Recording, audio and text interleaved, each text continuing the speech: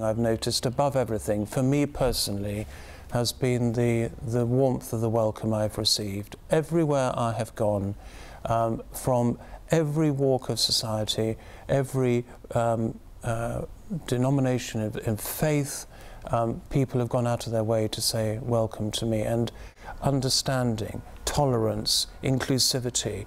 Um, those are the principles upon which Britain uh, sets store and which I believe Gibraltar um, demonstrates beyond belief. At the swearing-in ceremony, the Chief Minister um, suggested that Brexit may make some constitutional reform inevitable for Gibraltar. I think that um, uh, there will have to be some constitutional um, review uh, simply because um, the Constitution of 2006 talks quite a lot about the European Union. So there will have to be some um, uh, review of those parts of the Constitution that talk about the European Union when we're not part of the European Union.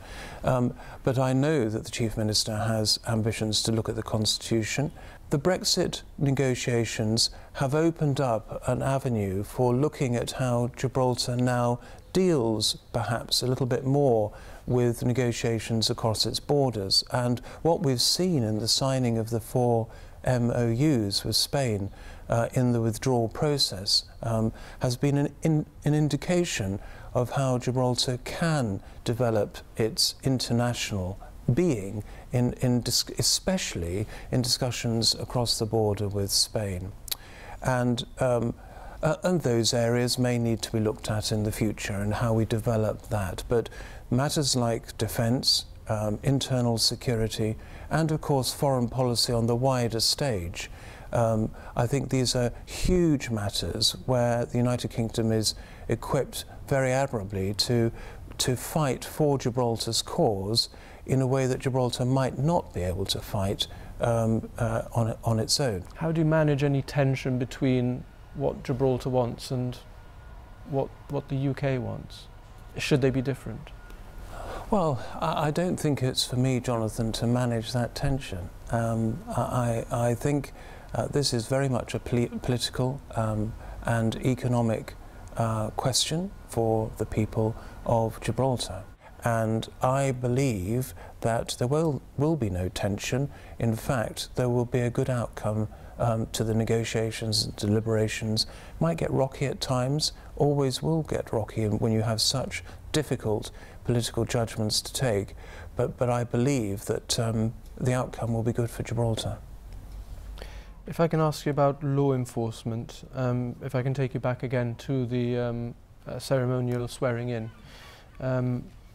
The leader of the opposition suggested that the convent had issued a bland statement um, on the retirement of the former Commissioner of Police.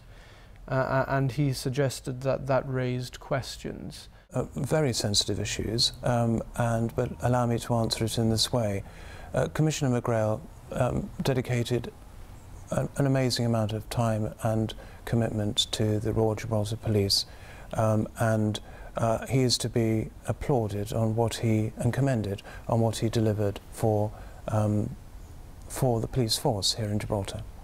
Um, all of us in uniform know that at some time one has to get off the train and and and let somebody else get on the train and drive that train going forward. And, I'm afraid it's a natural consequence of uniformed life.